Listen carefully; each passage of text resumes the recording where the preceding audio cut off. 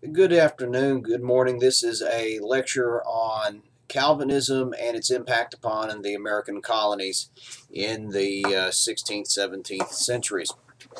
Now, when we talked about in previous classes, we talked about Luther and his reforms and his Reformation.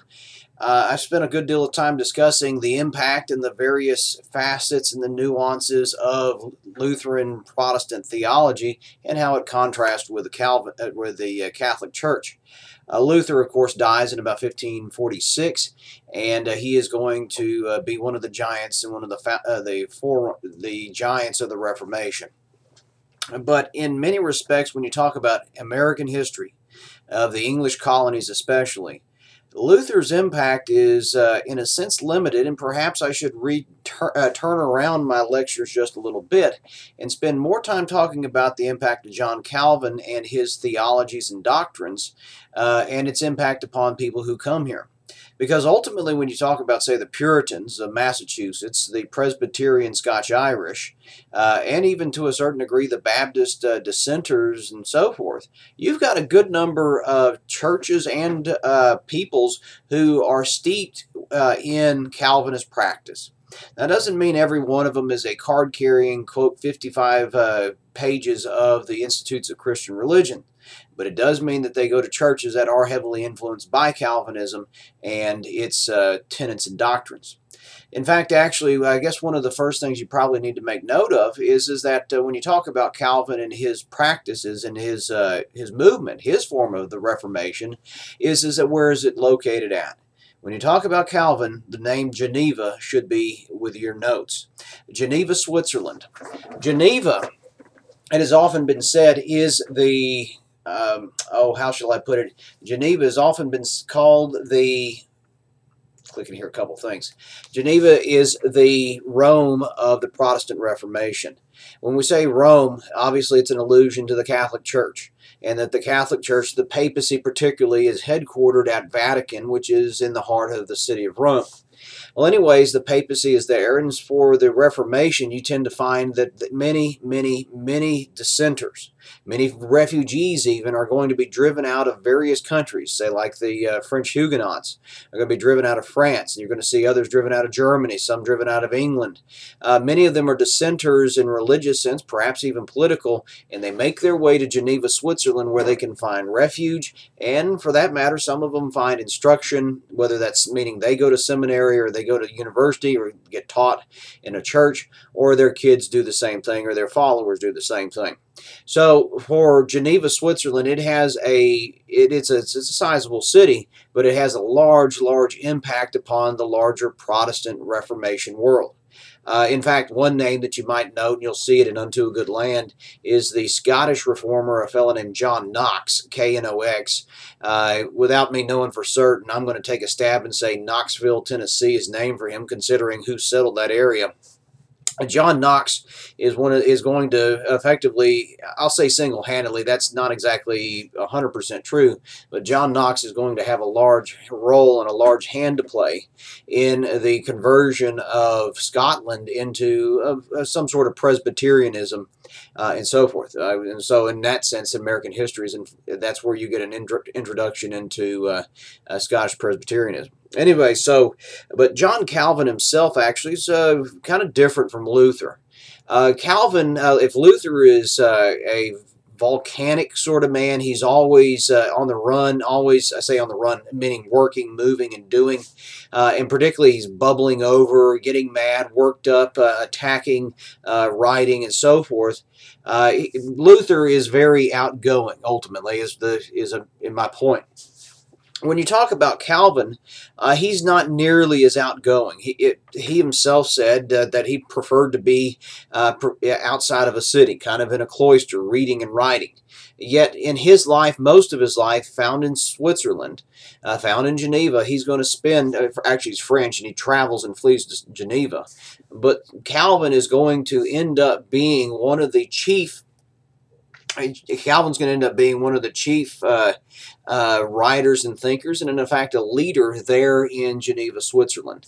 Uh, his uh, he's not quite a one-man band, and he's not a dictator, but he does have a very large influence on politics and in Geneva society that goes beyond the church. And so, I guess in a sense, one of the things as we unpack Calvinism, one of the things that's worth remembering is that Calvinism transcends the church. Yes, it obviously is going to have a big role in doctrine and theology. We'll get to that in a second.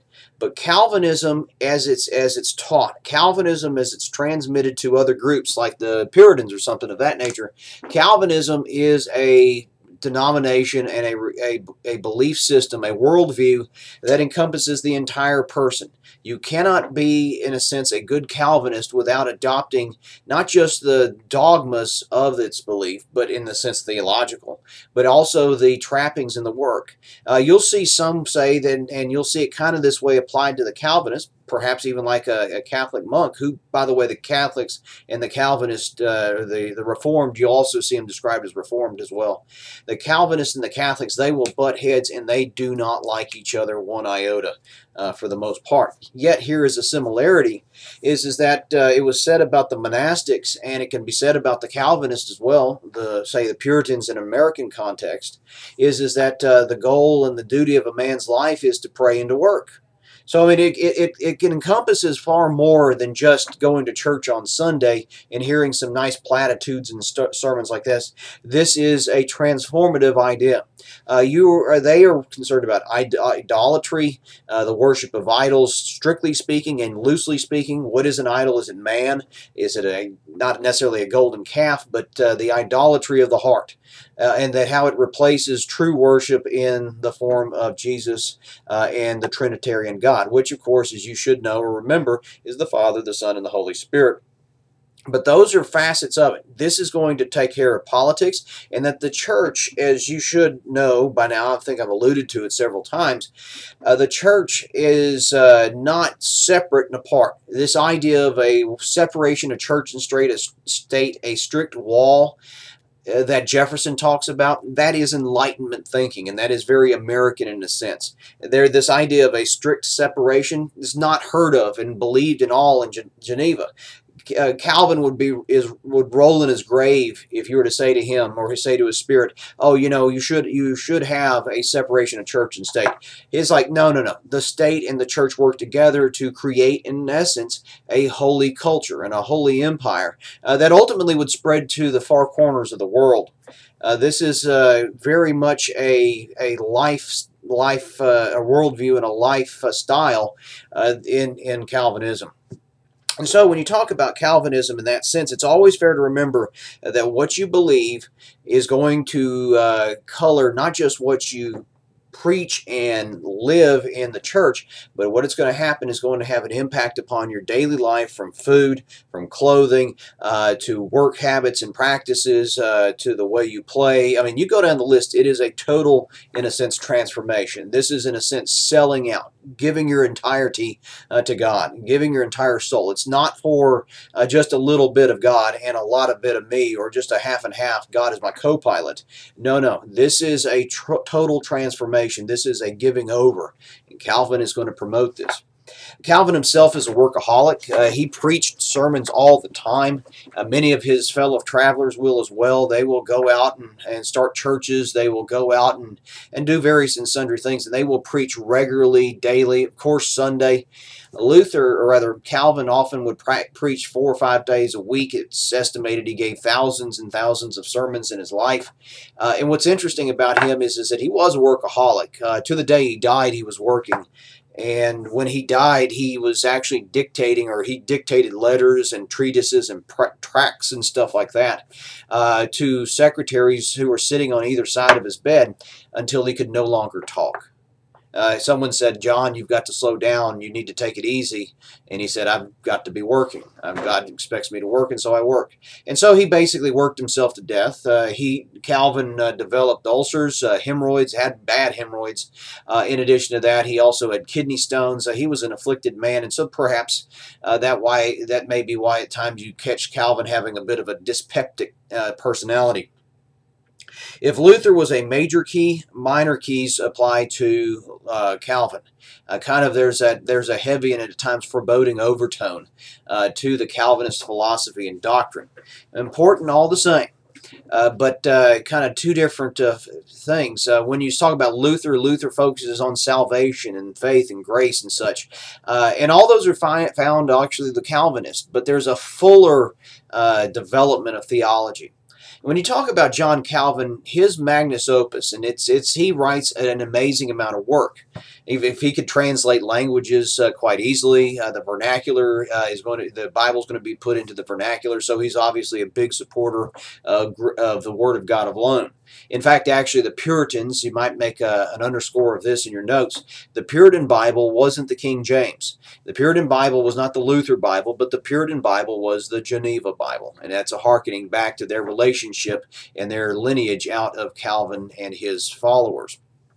But uh, Calvin actually, when he preached, uh, people would see his notes and they would be uh, written in Greek, and uh, he, they wonder how he could say what he was saying while re uh, reading his notes that are in Greek because the translations for the time period didn't work.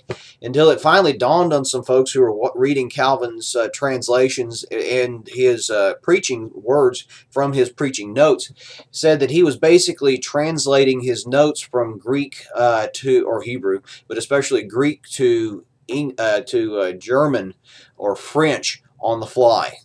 He was that good. Uh, he was, uh, but he was a brilliant man, uh, kind of thin and and gangly, smallish almost. Uh, but anyways, compared to Luther, very different physical appearances and so forth.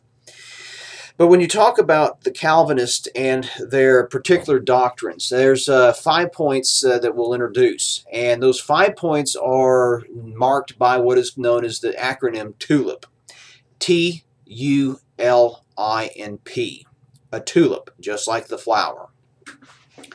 And this is a, what you would might call a five-pointed Calvinist, and uh, most of the Puritans you're going to come across, pretty much all of them, especially in those first few years after 1620. Those Calvinist Puritans who are going to show up along the coast of Massachusetts, they are five-pointed Calvinist. Uh, and there's uh, there's there's also groups called four-pointers. Uh, I'll explain the difference as we go through it. But as a general rule, this to one degree or another is a point of all Christians. The Calvinists go further than most uh, in point number one. The T of the tulip. The T of the tulip stands for total depravity. Total depravity. Now, total depravity is a reference to the original sin of mankind imputed to man by the sin of Adam in the garden, the sin of Eve in the garden. And also, in addition to that, it is the actual sin or the real sin beyond the original sin uh, that man creates. But the total part of the depravity, and by the way, do not mistake this with the word deprived, like you've been deprived of a lunch or you've been deprived of your truck by your parents, uh, but depraved, a wickedness, a total wickedness uh, a total evil, if you like. That humanity is so depraved because of sin that ma humanity, man, cannot seek God on his own. And, and it's fair to remember when we go through these sorts of things, the Calvinists are not just pulling these things, Calvin himself is not just pulling these things out of the sky.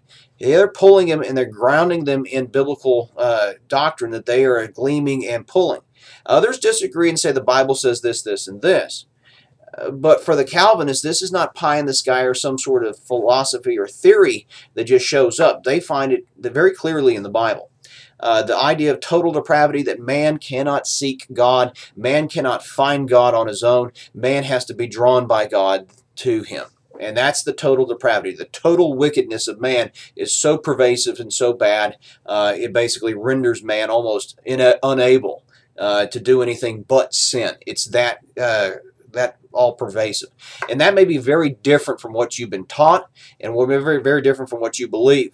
Uh, because uh, most people today seem to not come to the idea that people are depraved or wicked, but they come to the idea that people are actually uh, either blank slates that you write upon them just as if it was a uh, dry erase board or chalkboard, or they're born good and people are just tending to get better and it'll all work out just fine.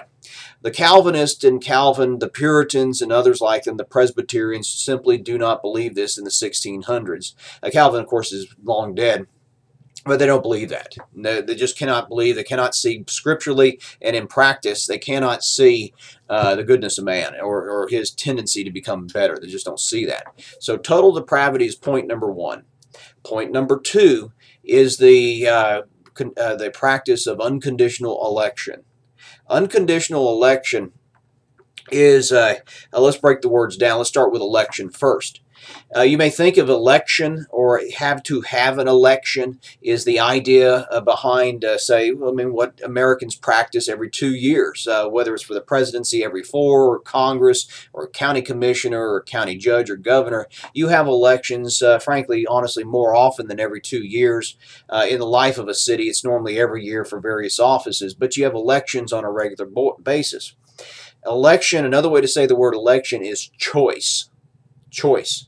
And uh, what do the electorate do when they go into the ballot box or go into the booth to vote for Joe Smith or to vote for Mary Watkins or whomever it may be for whatever office? They are choosing a candidate. They are selecting a candidate out.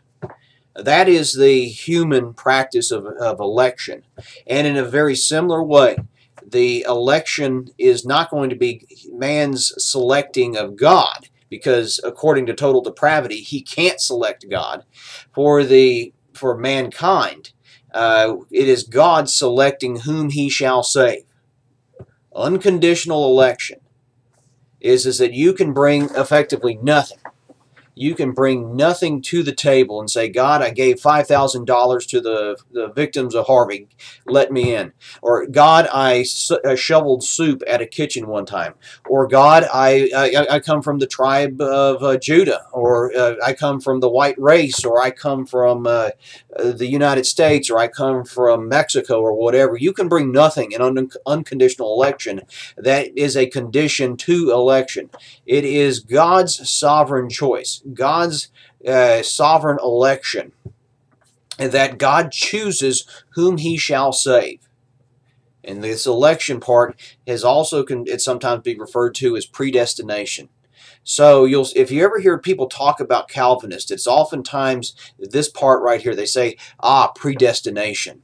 Oh, the Calvinists believe in predestination, that God chooses some, elects some to salvation, and he denies others as well.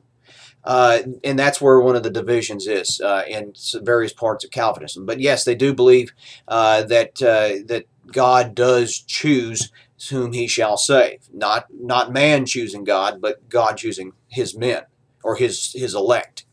And to say it their way. And you may be thinking, well, I've I've heard of John three sixteen in the Bible, and it says God's loved the world.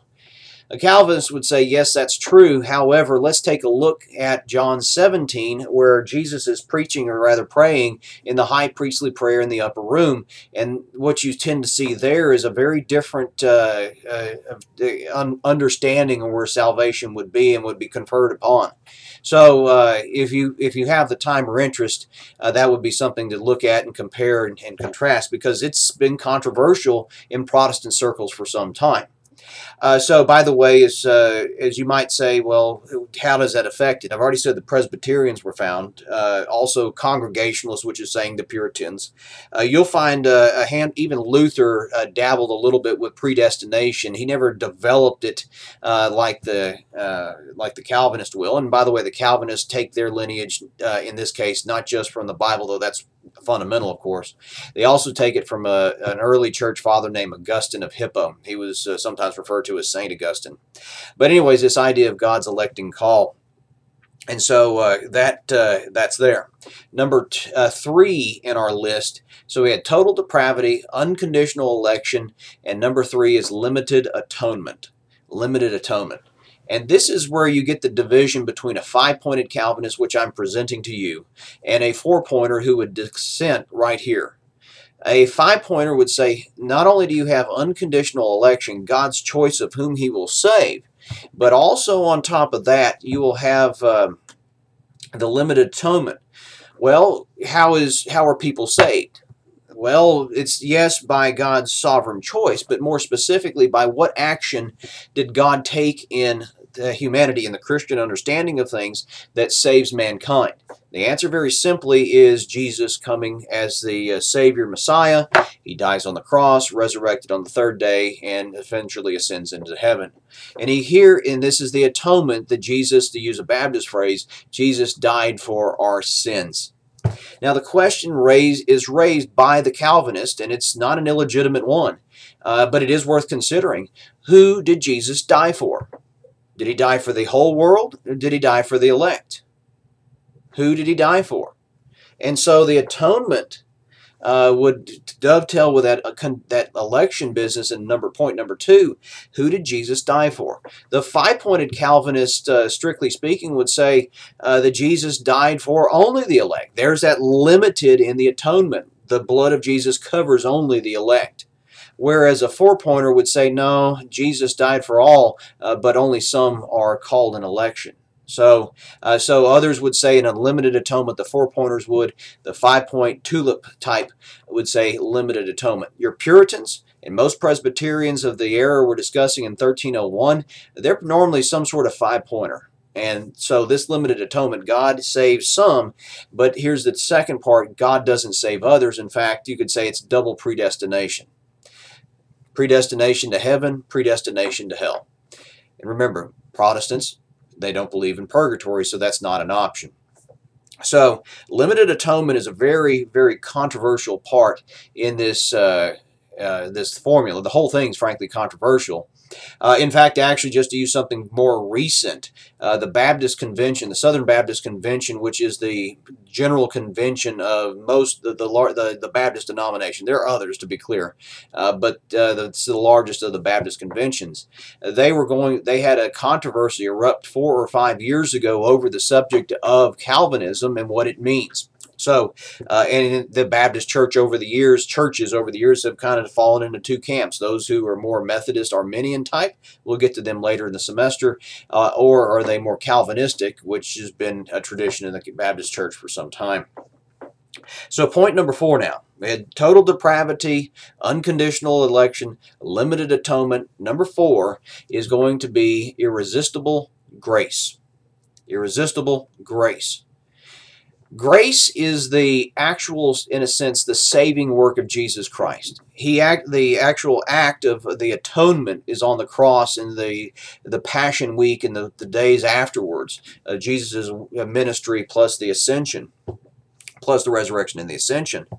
The fact of the matter is, is that when you talk about irresistible grace or grace itself, grace is that which saves the individual. It's grace that is offered by God, grace that is offered by Jesus that a person in faith accepts. Again, hitting these main themes of the Protestant Reformation of the five solas of uh, faith alone, Christ alone, the Word of God alone, grace alone, for the glory of God alone, all five. Well, with regard to irresistible grace, uh, this uh, grace that is saving is so uh, uh, uh is so uh, impressive, so so beautiful, if you like, that no one could resist it. One of the caricatures of those who are anti-Calvinist would say is, is that irresistible grace means God is going to ram down grace down your throat to the elect that the elect, uh, some elect will be so elected, they're going to be, God's going to drag them kicking and screaming into heaven, and he's going to ram it down their throat. And that's a caricature. It's a false caricature of the Calvinist. I've read too much. It's just uh, people trying to play fast and loose. But the fact of the matter is, with regard to the uh, the Calvinist and their understanding of irresistible grace, it would be something akin to thinking about an election again. Uh, none of you who are watching this uh, have voted. It's possible that I may use this in a later date in another class, and it, it may end up showing that, uh, yeah, you, you have voted in an election. Uh, but uh, for the primary audience that it's recorded for, you haven't elected any, you haven't voted for anybody. But if you think about your parents as they've gone to booths before, in all likelihood, 99% sure on my part, is that nobody has stuck a gun to your parents' head or put a knife in their back and said, you shall choose fill in the blank candidate. In all honesty, most people will go into the box and willingly, perhaps even happily, this is the human side, so it's an analogy that breaks down probably right here a little bit, but in the sense, though, you go into the ballot box, and in all things being equal, you're probably going to willingly uh, pick uh, Donald Trump or Hillary Clinton or George W. Bush or Barack Obama or some. I use those presidential candidates that you know or future presidents, but you willingly went in there and you chose. Nobody forced you into the booth. Nobody stuck a gun or, or knife to your back and said you must choose this person. You did it on your own and you wanted to. And that's the irresistible grace. That the grace was so uh, so beautiful. The grace was so free. The grace was so full that uh, you you couldn't help but go. You, couldn't resist it, but you loved it. You wanted to go. It's not kicking and screaming. It's running. Uh, if you want to think of it this way, in a sense, look at the uh, at the words of the great, uh, almost now uh, secular hymn, seemingly, sadly, uh, of Amazing Grace. And you look at the words there and you see this movingness of it, and there's this kind of a uh, this idea of going. So irresistible grace is point number four. So the tulip, total depravity, unconditional election, limited atonement, irresistible grace. Number five, the perseverance of the saints. The perseverance of the saints. What that basically means is that uh, for the Calvinists and even non-Calvinists too, you'll see this, is, is that they will say that uh, in a sense, once saved, always saved. Meaning, once you're once you put your faith in Christ and His grace freely offered, you're always going to be in the hand of Christ. You will never be cannot be plucked out of His hand. I'm really just quoting the Bible there. However, not all would agree with that. There is uh, the Catholic Church to this day has uh, taught for some time, uh, many many years, thousands, about a thousand years, I guess, but a long time that you could lose your salvation. Some Baptist churches teach exactly that. Uh, some Assembly of God do. Uh, there's a church over on Villa Maria. It's called uh, uh Free Will Baptist Church. Uh, I believe that's its title. But if you see the name or the word free will in it, there's generally the idea that one can forfeit or lose their salvation. Well, the answer is in a, a question you might have is how do you know if you're saved? Ultimately, how do you know if you're saved? Is it by uh, strolling and walking an aisle? Does that save you? Uh, no. Um, is it? What is it that makes you saved? And the answer, boiling down, down, and down, the, the Puritan or the Calvinist answer would be: you persevere unto the end. Uh, you never fall away from the church. You never, you may backslide. You may uh, even sin for a season. Sadly, uh, you may not go to church for a season, but ultimately you will return to the church. You will uh, confess Christ as Lord and Savior, and you will live some sort of holy life. It may not be, it's not going to be a perfect life, but there will be a perseverance in Christ to the end. You will never forsake Him. You never will forswear Him. You will never fall away. So the perseverance of keeping into the church is there. Um, so that's uh, a, an overview of Calvinism, and it is a good overview for what the Puritans will believe when they come. The Puritans uh, are, as the name would imply, purifiers or desire to see the Anglican Church, the Church of England, purified. What I would suggest you do, and this uh, lecture is not designed to uh, get into the deep weeds of the the religious wars of uh, England. And it is fair to say that uh, that Europe is going to be convulsed in blood. Uh, some of the most uh, horrible wars in European history were religious wars of the 6, 15 and 1600s. Uh, the only thing worse would be the 20th century ideology wars of Nazism and, and communism and so forth. But anyways, uh, it is worth your time and it is important to you as far as your preparation for any exam I might give during this period of time for you to read up on Henry VIII, uh, the Puritans and Cromwell, the Roundheads, uh, the, the, the strife that goes on in England. Because ultimately the United States will take some of its heritage from France, take some of its heritage from Spain to be clear, uh, but it will take most of its heritage governmentally, its outlook, its cultural heritage, its political heritage uh, from England. And the impact upon religion, and particularly the Calvinist versus the Anglican, Anglican fighting, is going to be quite, quite substantial. So uh, that ought to get us set up and allow us to uh, uh, move to the next step, which is to bring these Puritans, who are Calvinists, who, who absorbed the whole worldview, to bring them across the ocean in the early 1600s and set them up in Massachusetts and New Hampshire and Connecticut, and so they can establish their holy hill, their city upon a hill. So, uh, thank you, and uh, that is the end of this lecture.